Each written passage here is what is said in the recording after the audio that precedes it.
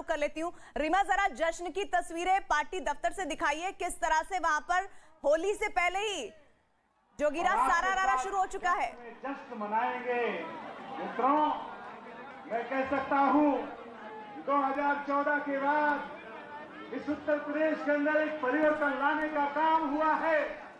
और उसके कारण मैं कह सकता हूँ तो ये एक बार फिर से हम तस्वीरें अपने दर्शकों को दिखा दें और मैं चाहूँगी कि चारों तरफ़ की तस्वीरें इस बीच वो जो मंच की तस्वीर है। वहाँ पे दरअसल वहाँ से अनाउंसमेंट किया जा रहा है।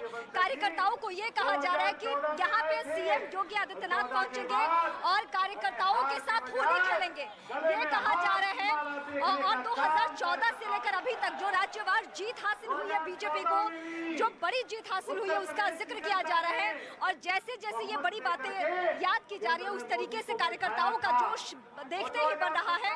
तो चारों तरफ़ उस तरीके से सुरक्षा के इंतज़ाम भी किए गए हैं, क्योंकि लोगों की संख्या बढ़ती जा रही है।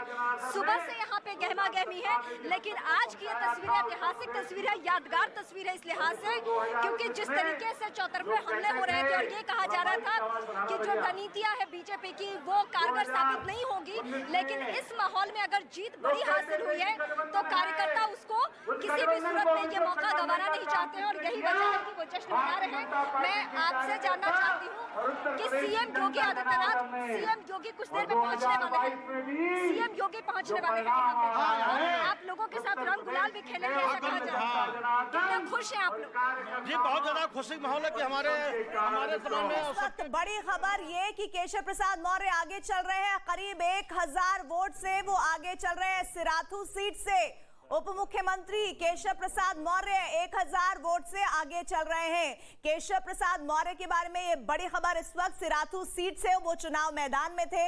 उप मुख्यमंत्री करीब एक हज़ार वोट से आगे चल रहे हैं। ऐसे में आपसे एक सवाल ये कि सर एक हज़ार वोट से आगे चलना ये कितना बड़ा एज है केशव प्रसाद मौर्य के लिए? जीत कितनी करीब और कितनी दूर?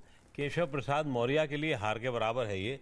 क्योंकि जो आदमी डिप्टी चीफ मिनिस्टर रह चुका हो, बाकी और चीज़ें, मुझे लगता है केशव प्रसाद मौर्य की इमेज इसमें सबसे बड़ी बाधक हुई है और जो बीच के दौर में उनके बारे में इमेज हुई थी, वो खराब हुई है। लेकिन अभी भी हार जीत का फैसला, अभी क्योंकि मुझे लगता है शायद बीस बाईस राउंड होने हैं और हुए कितने हैं, शायद सोलह वोलह हुए थे।